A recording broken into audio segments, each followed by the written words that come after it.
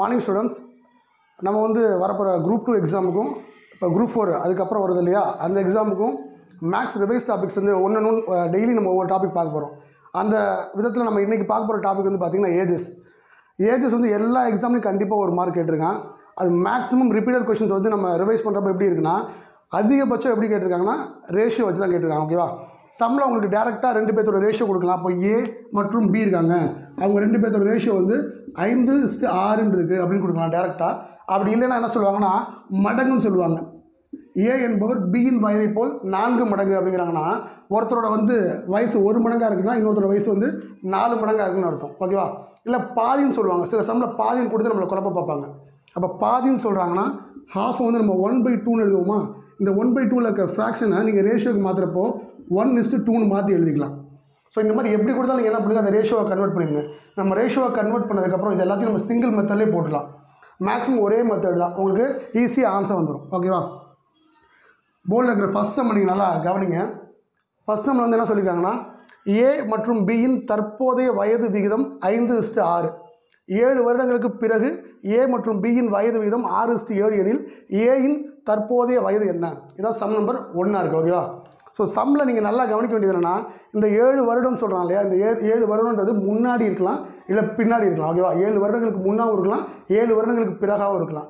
So அது அவங்க வந்து அகோன்னு சொன்னாலும் சரி இல்லை ஹென்ஸ்னு ஆஃப்டர்னு அர்த்தம். அந்த மாதிரி ரெண்டு விதமாக எப்படி கொடுத்தாலும் சரி ஒரே ஒரு மெத்தட் தான். அதில் கன்ஃபியூஸ் ஆகக்கூடாது ஓகேவா சம்மில் சொல்லியிருக்க மொதல் ரேஷியோ இருக்கு இல்லையா? அதை எடுத்து எழுதிருங்க. சம்மில் ரேஷியோ என்ன சொல்லியிருக்கானோ அதை அப்படியே போர்டில் எடுத்து எழுதிருங்க. உங்களோட பேப்பரில் எழுதி எழுதிங்க நோட் பண்ணுறவங்க அப்படி ப்ராக்டிஸ் பண்ணுவாங்க அப்படியே எழுதிக்கோங்க ஓகேவா சம்பளம் அவன் என்ன ரேஷியோ ரேஷியோ ஃபஸ்ட்டு கொடுத்துருக்கான்னு பாருங்கள் எழுதிருங்க. அது வந்து தற்போதைய வயது விகிதம்னா உங்களுக்கு வரப்போகிற ஆன்சர் டேரெக்டாக வரும். ஒருவேளை இங்கே கீழே கொடுத்துருக்க ரேஷியோ இருக்கு இல்லையா? ஏழு வருடங்களுக்கு பிறகுன்னு ஒரு ரேஷியோ கொடுத்துருக்காங்க இல்லையா? அந்த ரேஷியோ உங்களுக்கு முதல்ல கொடுத்தாங்கன்னா ஆன்சர் ஒரு சின்ன சேஞ்ச் இருக்கும். ஃபஸ்ட் நான் இந்த சம் நான் உங்களுக்கு போட்டு காட்டுறேன். தற்போதைய வயதுகள் விகிதம் அஞ்சு ஸ்டாராக இருக்குது ஓகேவா எத்தனை வருஷத்துக்கு அப்புறம் அந்த ரேஷியோ வந்து வேறு ஒரு ரேஷியோ மாறுதுன்னு பாருங்கள் என்ன சொல்லியிருக்கான் ஏழு வருஷத்துக்கு அப்புறம் அந்த ரேஷியோ மாறுதான். வேறு ஒரு ரேஷியோவாக மாறுதான். அது என்னவா மாறுது? ஆறு இஸ்ட்டு ஏழாக மாறுது ஓகேவா அப்போ கீழே அந்த ஆறு இஸ்ட்டு ஏழுன்னு எழுதிருங்க. இந்த அப்படியே அந்த ரேஷியோ கொடுத்துருக்காங்களே அதை ஒரு ஒரு பாக்ஸ் மெத்தடில் அப்படியே எழுதிருங்க. எழுதுனதுக்கப்புறம் என்ன பண்ணுங்கள் முதல் ஸ்டெப்பு கீழே இருக்க ரேஷியோ இருக்கு இல்லையா? அந்த ரேஷியோட டிஃப்ரென்ஸ் என்னன்னு பாருங்கள் இங்கே ஆறு இருக்குது இங்கே ஏழு இருக்குது அப்போ ஏழுக்கும் ஆறுக்கும் என்ன வித்தியாசம் இருக்கும்? ஒன்று இருக்குமா? அந்த ஒன்றை எடுத்து எழுதிருங்க. நடுவில் ஒரு இயர் கொடுத்துருக்காங்க இல்லையா? ஒரு பர்டிகுலர் இயருக்கு அப்புறம் தான் அந்த ரேஷியோ கன்வெர்ட் ஆகுதுன்னு கொடுத்துருக்காங்க இல்லையா? மாதம் கொடுக்குறாங்க இல்லையா? அந்த இயரை கொண்டு போய் இந்த நீங்கள் ஃபஸ்ட்டு பண்ணீங்க இல்லையா? அந்த ஒரு டிஃப்ரென்ஸ் இருக்கு இல்லையா? அதோட மல்டிபிள் பண்ணுங்கள் இப்போ ஒன்று ஏழு வரும் இல்லையா? நெக்ஸ்ட் ஸ்டெப் நீங்கள் என்ன பண்ணுன்னா இங்கே இந்த ரெண்டு ரேஷியோ இருக்கு இல்லையா? இந்த அஞ்சு ஆறு இந்த ஆறு ஏழு இருக்கு இல்லையா? இது ரெண்டுத்தையும் குறுக்கு பெருக்கல் பண்ணுங்கள் ஆறு இன்ட்டு ஆறு என்ன வரும்? முப்பத்தி ஆறு. இங்கே ஏழு இன்ட்டு அஞ்சு என்ன வரும்? முப்பத்தி அஞ்சு. இந்த முப்பத்தி ஆறுக்கும் முப்பத்தஞ்சுக்கும் என்ன வித்தியாசம் வருதுன்னு பாருங்கள் முப்பத்தி ஆறு மைனஸ் முப்பத்தஞ்சு ஒன்று வருமா? அப்போ one into seven divide by ஒன்று ஓகேவா ஒன்று ஒன்று கேன்சல் ஆகிடுமா அப்போ ரிமைனிங் என்ன இருக்கும்? செவன் இருக்குமா? இந்த ஏழு அப்படின்றது உங்களோட எக்ஸோட மதிப்பு. இதுதான் உங்களோட ஒரு பார்ட்டோட மதிப்பு. ஒரு பகுதியோட மதிப்பு என்ன? ஏழு. ஓகேவா? அப்போ எக்ஸ் ஈக்குவல் டு ஏழுனா ஏ மற்றும் பியின் வயதுகள் விகிதம் என்னவாக இருக்குன்னா அஞ்சு எக்ஸா ஏ இருக்காரு பி வந்து ஆறு எக்ஸாக இருக்காரு. ஓகேவா? அவங்க நம்மள்ட்ட என்ன கேட்குறாங்கன்னா ஏயின் தற்போதைய வயது தான் கேட்குறான் அப்போ ஏவோட வயது என்னவாக இருக்குது அஞ்சு பார்ட்டாக இருக்குது அஞ்சு எக்ஸாக இருக்குது அப்போ அஞ்சு இன்ட்டு ஏழு என்ன வரும்? முப்பத்தி அஞ்சு. அப்போ ஏவின் வயதுன்னு கேட்குறாங்கன்னா முப்பத்தி அஞ்சுன்னு போட்டிங்கன்னா ஆன்சர் சொல்ல புரிஞ்சா? அப்போ ஏயின் தற்போதைய வயதுன்னு கேட்டால் எக்ஸோட வேல்யூ ஏழு. அப்போ ஏ எப்படி இருக்காருன்னா அஞ்சு எக்ஸாக இருக்கார். அப்போ அஞ்சு இன்ட்டு ஏழு கொண்டு முப்பத்தி அஞ்சுன்னு வரும். இது வந்து நார்மல் மெத்தட் ஓகேவா சம் எப்படி கேட்டாலும் இப்படி போட்டுருங்க.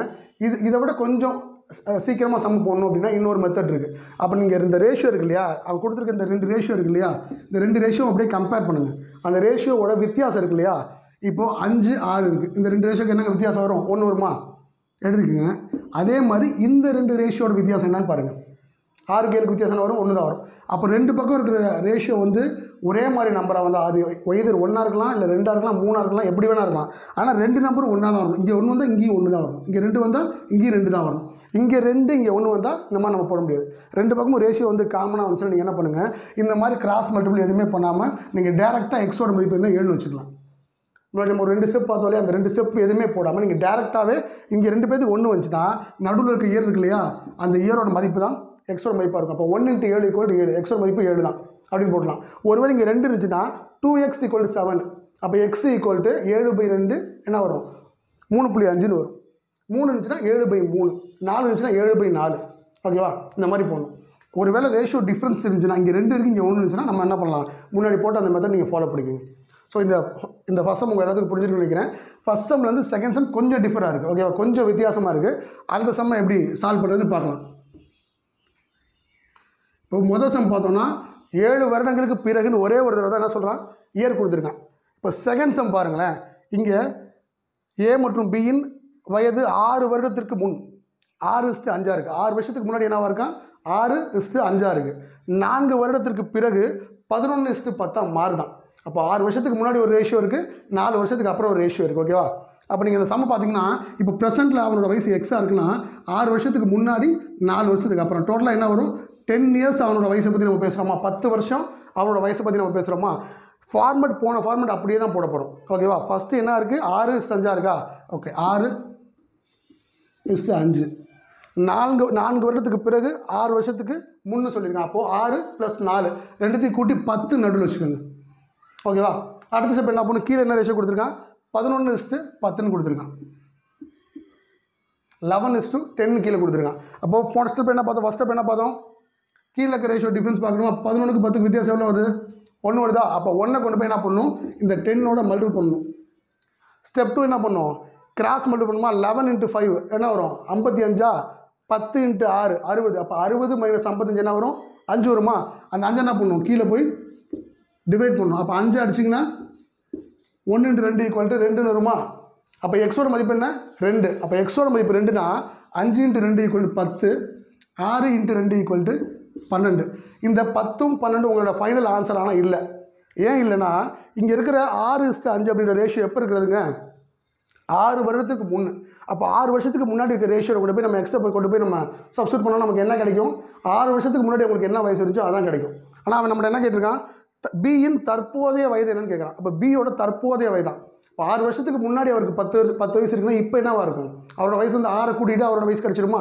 இப்போ பத்து ப்ளஸ் ஆறு. அவரோட வயசு என்னென்னு கேட்டாங்கன்னா பதினாறாக இருக்கும். இப்போ போன சம்மில் ஒரு செகண்ட் ஷார்ட்கட் பார்த்தோம் இல்லையா? அதே சம் இந்த சம்க்கு அப்ளை அப்ளை ஆகுதான்னு பாருங்கள் டிஃப்ரென்ஸ் பார்க்குறோம். ஆறுக்கும் அஞ்சுக்கும் டிஃப்ரென்ஸ் என்ன இருக்குன்னா அஞ்சு இருக்குது அஞ்சு பத்து டிஃப்ரென்ஸ் அகைன் அஞ்சு. ரெண்டு பக்கம் காமனாக வந்துருச்சு. அஞ்சு அஞ்சு. நடுவில் என்ன இருக்குது பத்து இருக்கா? அப்போ ஃபைவ் எக்ஸு ஈக்குவல் டு டென்னு எக்ஸு ஈக்குவல் டு டூன்னு வந்துடும் அப்போ நம்ம இந்த ரெண்டு ஸ்டெப்பு போடாமல் நமக்கு டேரெக்டாக வந்துடும் எப்போது ரெண்டு பக்கம் ரேஷியோ வந்து வித்தியாசம் காமனாக பொதுவாக இருந்தால் பொதுவான வித்தியாசமாக இருந்துச்சுன்னா நம்ம என்ன பண்ணலாம்? டேரெக்டாக போட்டலாம் அப்படி பொதுவான வித்தியாசம் வராத பட்சத்தில் நீங்கள் என்ன பண்ணணும்? நம்ம போட்ட ஃபஸ்ட்டு மெத்தட் மாதிரி போகணும் ஓகேவா கீழே இருக்கிற டிஃப்ரென்ஸ் பார்க்கணும் கிராஸ் பண்ணணும். மேக்ஸிமம் இந்த மாதிரி ஃபஸ்ட்டு பாருங்கள் டிஃப்ரென்ஸ் இருந்தால் டக்குன்னு போட்டலாம் ஒரு ஒரு டூ த்ரீ செகண்ட்ஸில் உங்களுக்கு ஆன்சர் வந்துடும் அப்படி இல்லைன்னா நம்ம இந்த மெத்தட் ஃபாலோ பண்ணிக்கலாம். தேங்க்யூ